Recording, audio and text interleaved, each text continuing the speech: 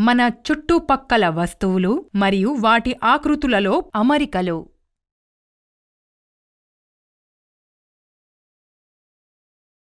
చుట్కీ ఆడుకొనొచ్చేశావా అవునమ్మా వచ్చేసా.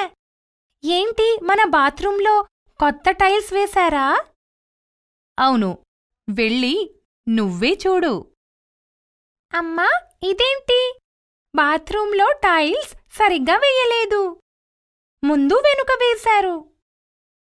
చుట్కీ టైల్స్ సరిగ్గానే వేశారు.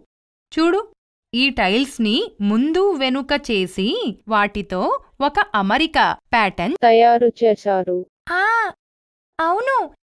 ఇక్కడ మొదటి లైన్లో టైల్స్ ఒకేలా వేయబడ్డాయి. రెండో వరుసలో టైల్స్ మొదటి వరుస టైల్స్కి మధ్యన వేసి వాటిని మళ్ళీ మళ్ళీ పునరావృతం చేశారు. అవునా? అయితే ఇది అమరిక కదా? అవునమ్మా. నువ్వు అమరిక గురించి మరింత తెలుసుకోవాలనుకుంటున్నావా? అవునమ్మా. నేను అమరిక గురించి ఇంకా తెలుసుకోవాలనుకుంటున్నాను. మిత్రులారా ఈరోజు మనం మన చుట్టుపక్కల వస్తువులు అంటే ఆబ్జెక్ట్స్ మరియు ఆకృతులతో షేప్స్తో ఏర్పడే అమరికని గుర్తించి వాటిని ఎలా పొడిగించాలో నేర్చుకుందాం. చూడమ్మా ఇక్కడ నా చీర మీద పెద్ద మరియు చిన్న పువ్వులతో ఉన్న అమరిక చేసి ఉంది. అవును నీ చీర మీద పెద్ద మరియు చిన్న పువ్వులు మళ్ళీ మళ్ళీ పునరావృతమయ్యాయి. ఇప్పుడు ఇది చూడు ఈ చెస్లో నల్ల చతురస్రాల అంటే స్క్వేర్ తర్వాత తెల్ల చతురస్రాలు మరియు తెల్ల చతురస్రాల తర్వాత నల్ల చతురస్రాలు స్క్వేర్ అలాగే అమరిక పునరావృతం అవుతోంది. అవును సరిగ్గా చెప్పావమ్మా. చుట్కీ పద ఇప్పుడు వంటింట్లోకి వెళ్దాం. సరే పద. ఇప్పుడు చూడు ఈ నీళ్ళ కుండ మీద కూడా త్రిభుజ ఆకృతిలో అమరిక చేసి ఉంది. భలే భలే. జాగ్రత్తగా చూడు. ఈ కుండ మీద త్రిభుజం అంటే ట్రయాంగిల్ వేసి దాంట్లో పువ్వులు వేసి ఉన్నాయి. తర్వాత దాని పక్కనే తిరగేసిన త్రిభుజం అంటే ట్రయాంగిల్ వేసి దాంట్లో కూడా పువ్వులు వేసి ఉన్నాయి. అవును. ఈ అమరికని మళ్ళీ మళ్ళీ పునరావృతం చేశారు. అవునమ్మా.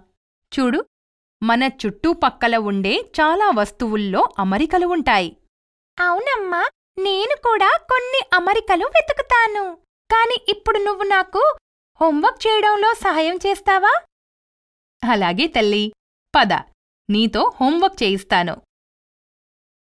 అమ్మా చూడు ఈ హోంవర్క్ చేయించాలి. అరే ఈ హోంవర్క్ అయితే ఇప్పుడు మనం చూసిన అమరిక గురించి ఉన్నదే. నువ్వు దీన్ని తేలిగ్గా చెయ్యగలవు అవునమ్మా ఇక్కడ మొదటి అమరికలో అన్ని వృత్తాలే అంటే సర్కిల్స్ ఉన్నాయి. దీంట్లో అమరిక ఏమీ లేదు. సరిగ్గా చూడు. ఈ వృత్త సర్కిల్ ఆకారాల్లో రంగు నింపి ఉంది. ఈ రంగుల క్రమం చాలా ప్రత్యేకంగా పునరావృతం చెయ్యబడింది ఇక్కడ మొదటి వృత్తంలో ఆకుపచ్చ రంగు రెండవ వృత్తంలో పసుపు రంగు మూడవ వృత్తంలో ఆకుపచ్చ రంగున్నాయి. అవును దాని తర్వాత వృత్తాలలో పసుపు మరియు ఆకుపచ్చ పునరావృతం చేయబడ్డాయి. సరిగ్గా చెప్పావు. ఇప్పుడు తరువాత వృత్తాలలో కూడా అలాగే పసుపు మరియు ఆకుపచ్చ రంగు పునరావృతం చేస్తూ నింపితే ఈ అమరిక పూర్తవుతుంది. అవును ఈ అమరిక చాలా సులభం. పద ఇప్పుడు రెండవ అమరికని చూడు. ఈ అమరిక రెండు ఆకృతులతో చేయబడుంది. అవును సరిగ్గా గుర్తించావు. ఈ అమరికలో త్రిభుజం మరియు వృత్త ఆకృతులు ఉన్నాయి.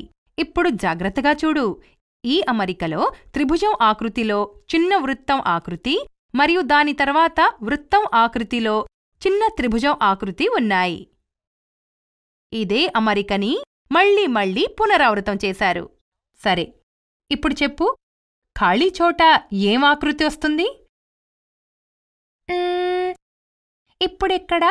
ఖాళీ చోట? వృత్తం ఆకృతిలో చిన్న త్రిభుజం ఆకృతి వస్తుంది. శభాష్!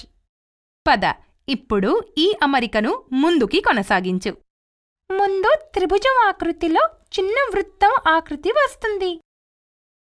దాని తర్వాత ఏం వస్తుంది? దాని తర్వాత వృత్త ఆకృతిలో చిన్న త్రిభుజం ఆకృతి వస్తుంది. చక్కగా చెప్పావు. శభాష్! పద. ఇప్పుడు నువ్వు చుట్టుపక్కల మరియు వస్తువులలో అమరికను గుర్తించు. సరే అమ్మా. సరే మిత్రులారా ఈరోజు మనం చూశాము ఈ వీడియోలో చుట్కీ తన అమ్మతో పాటు వస్తువులు అంటే ఆబ్జెక్ట్స్ మరియు ఆకృతులతో ఏర్పడే అమరికను గుర్తించడం మరియు వాటిని పొడిగించడం నేర్చుకుంది అని చూశాము. తరువాత వీడియోలో మనం కొన్ని ఉదాహరణల ద్వారా మన చుట్టుపక్కల ఉన్న వస్తువులు మరియు ఆకృతులతో ఏర్పడే అమరికలను గుర్తించి వాటిని పొడిగించడం నేర్చుకున్నాము. మరియు కొన్ని సాధారణ తప్పుల గురించి కూడా తెలుసుకుందాం.